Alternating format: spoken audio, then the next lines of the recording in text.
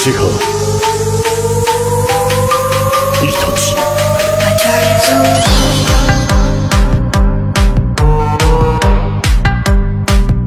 久しぶりだな Baroness Seafeet. Sasuke. Mr. Donnie. Hi, everyone. I'm Kevin. These are my bodyguards, Matt and Sal. They come with me wherever I go. At school, at the movie theater, on vacation, at concerts, they are always there. Who do you think they are protecting me from? The answer is myself. You heard that right. My bodyguards are protecting me from myself. What does that even mean? Let me give you an example. Four years ago, my school organized a field trip to the circus. This was my first time going to the circus. It was so much better than I had expected. There were acrobats doing incredible things in the air, fire eaters, wild animal tamers that shared a cage with their animals. I was watching the show, completely mesmerized because these were brave people like me. Then a man came on to do a bow and arrow act. He was really talented, just like the others. First, he hit a series of balloons tied to a rope. Then, his assistant threw three balloons up in the air. He pierced those with his arrows as well. The hardest trick in this act was the last one. The assistant covered the man's eyes with a blindfold. She stood in front of him and put an apple on top of her own head. Everyone was holding their breaths. Just as the man was about to shoot, the woman said, No, I can't do it. It's too dangerous. Throwing the apple on the floor and running away. The man was shocked. He turned to the audience. Well, this has never happened before. Would anyone like to volunteer? Otherwise, I can't perform my act, he said. As soon as I heard this, I stood up and jumped into the ring before anyone could stop me. I picked up the apple from the floor. I put it on my head. The man was still in a blindfold. The apple is on my head. Let's see if you can hit it, I said. When the man said, Aren't you scared? I can't see anything right now. I could shoot you instead of the apple. I said, No, I'm not. In fact, I don't know what fear is. Then the guy took aim while still in a blindfold. He fired his shot. The arrow flew towards me, cut the apple on my head in two, and went deep into the wooden panel behind me. At that moment, the man's assistant came back to the ring screaming. The shooter took off the blindfold, saw me, and screamed, Who are you? It was only after the fact that we figured out what was really going on. It turned out that the assistants yelling, I can't do it, and running away was also a part of the act. They would always plant another circus performer in the audience. When she ran away, that person would go up on stage pretending to be a volunteer. Until that day, they never had a regular person volunteer for this. When I ran into the ring, the circus staff thought I was part of the team. Of course, I wasn't. When they figured out I was a real member of the audience, they were really surprised with my bravery. I'm sure you are also curious as to why I did it. The answer is that I have a very rare genetic disorder. I can't feel fear. My parents were very concerned when they learned about what I did at the circus. My mom said, Kevin, I know it wasn't your fault, but it can't go on like this. We have to take precautions. We've decided to hire bodyguards for you. They will go everywhere with you and prevent you from hurting yourself. This is how my bodyguards, Matt and Sal, came into my life. My dad is a well known lawyer. His job pays very well. That's how my parents could afford the bodyguards. But I didn't like it at all. You might think having bodyguards is kind of cool, but going everywhere with them, being constantly under their scrutiny, and most importantly, getting all kinds of weird looks from people is definitely not something you should envy. At the same time, I understand my family. Because of my condition, there's a good chance that I would hurt myself. According to some doctors, it's a miracle that I even made it to this age.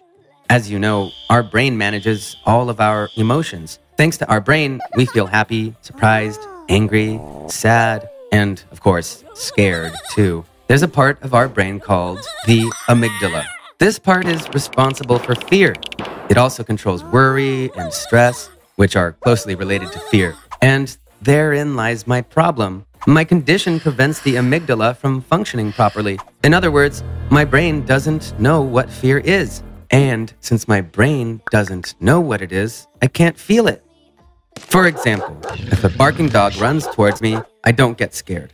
Because I'm not scared, it doesn't occur to me that I should run. I'm sure you can guess what might happen in that situation if I don't run. I can hang out in the middle of the night in a dangerous neighborhood without feeling any kind of uneasiness. Let's imagine that while I'm in that neighborhood, someone attacks a woman. The woman screams for help. In such a situation, I would run to help her without thinking twice. Because I'm never afraid, I don't worry about something bad happening to me. I don't feel stressed out when I'm about to take an important exam. You might think this is a good thing, but it's not. Because I'm not stressed, I can't prepare properly for the exam. Why? Because I'm not scared of getting a bad grade and therefore don't feel like I should study hard. This is why I've always been an average student. Doctors figured out I had this condition when I was seven years old. My family used to think I was just a very brave kid. For example, when my mom said, We're going to the dentist tomorrow, I would say, Yay! My mom liked that I wasn't scared of going to the dentist's. One evening, my mom came to my room to call me for dinner. When she saw me, she screamed at the top of her lungs because I was lying in my bed embracing a giant python. I was surprised that my mom was screaming. When my mom said, Honey, don't be scared. Just get up slowly and come to me. I asked her if I could bring along my friend. The python was the friend I meant. Apparently, one of our neighbors had kept the python as an exotic pet. It somehow escaped and came into my room through my window. I was so happy to see it. It was my first time touching a snake. I played with it for a long time. When I got tired, I laid down holding my new friend. When my mom walked in, she was obviously scared out of her mind to see me hugging a giant snake. After this incident, they thought it was a little weird for me to be this fearless and they consulted a doctor. After running some tests, the doctors were able to diagnose me. No fear disease is a very rare genetic condition.